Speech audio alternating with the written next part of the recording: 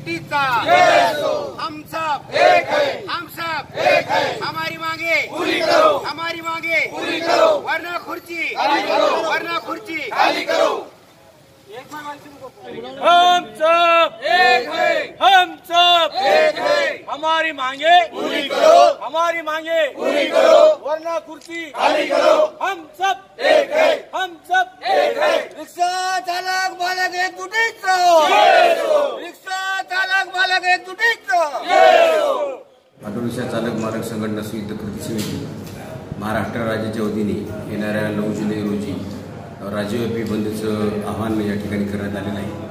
आम्ही महाराष्ट्रभर दहा बारा ठिकाणी प्रत्येक जिल्हा विभागाला जो मेळाव्यामध्ये बोलू शकतो तशी घोषणा केली आहे आणि आमची सगळी आता तयारी तशी तयारी झालेली आहे. याच्यामध्ये आमच्या ऑटो चालक मालकांच्या अशा काही मागण्या आहेत. ज्या ऑटो चालक मालकांचं जे कल्याणकारी मंडळ आहे त्याची घोषणा केलेली आहे पण त्याची अंमलबजावणी करून लवकरात लवकर ते स्थापन करण्यात यावं अशी आमची प्रमुख पहिली मागणी आहे. दुसरी आमची मागणी अशी आहे की इन्शुरन्सचे जे दर वाढलेले आहे. Third party third party insurance आज आमच्या रिक्षा चालकांचा जवळपास दोन तीन पटीनं वाढलेला आहे. त्या अनुषंगानं तो ताबडतोब रद्द तात्काळ रद्द करण्यात यावा अशी आमची मागणी आहे आणि तो कमी करण्यात यावा. तिसरी आमची अशी मागणी आहे की जी आता परवाने जे खुल्ली झाले तर एकतर एकोणीसशे ब्याण्णवपासून परवाने बंद होते.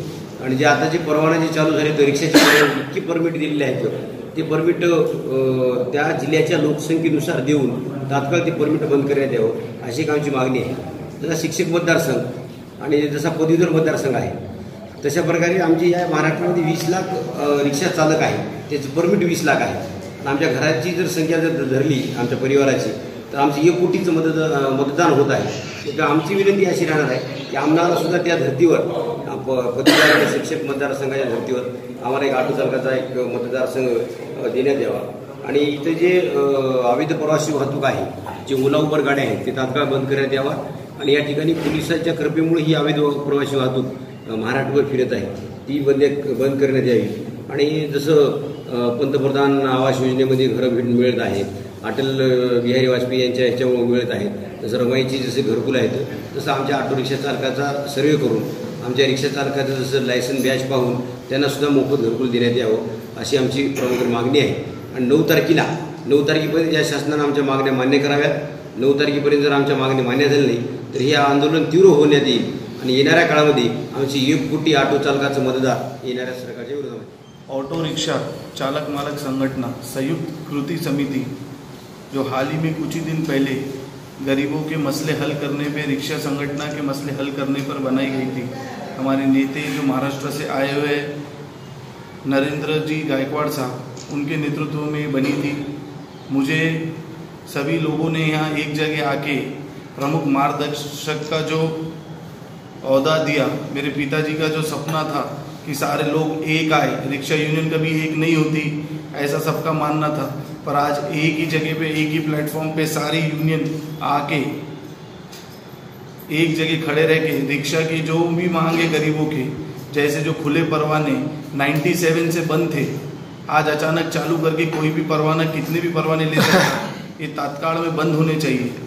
एक सबसे बड़ा अहम मुद्दा है जो हमारा इंश्योरेंस है इंश्योरेंस जो 2000 के अंदर होता था, वो आज सात से आठ हज़ार में हो रहा है। एक गरीब आदमी दो सौ रुपये से तीन सौ रुपये रोज कमाने वाला, अगर आठ हज़ार का इंश्योरेंस भरेगा तो इसका मतलब उसने एक महीना पहले अपना घर का चूल्हा बंद करना और इंश्योरेंस भर के सरकार को पैसे देना, जो कि सबसे ज़्यादा नाइंसाफ़ी इनके साथ है। जो इंश्योरेंस के जो था, वो नियम में आ चुका है। नियम ऐसा बनता है, जो कमर्शियल व्हीकल थी ट्रांसपोर्ट का ट्रांसपोर्ट में कमर्शियल भी आती है, गरीबों का भी आता है। कमर्शियल ट्रकों को बढ़ना छोड़ के, ट्रकों के बढ़ाए तो उसमें गरीब पीसे ये ऐसा होना नहीं चाहिए।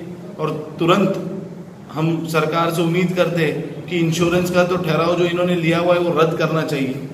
और 9 तारीख को संपूर्ण जिला बंद का ऐलान किया गया है। मैं आश्वासन देता हूँ हमारे नरेंद्र जी गायकवाड़ को, साहब को राष्ट्रवादी पार्टी की ओर से और अल्पसंख्यक विभाग की ओर से कि हम आपके साथ गंभीर तरीके से खड़े हैं और ऐसा बंद औरंगाबाद में होगा कि आपको कोई भी ज़िले में उतना नहीं मिलेगा।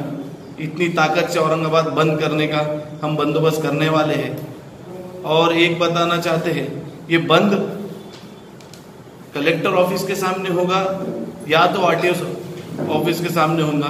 धरना आंदोलन के मार्फत ये आंदोलन होने वाला है, अगर ये मांगे हमारी पूरी नहीं की जाती है तो ये और ही तीव्र तरीके से हम इसको करेंगे, चाहे फिर वो रास्ता रोको आंदोलन हो या चक्का जाम हो।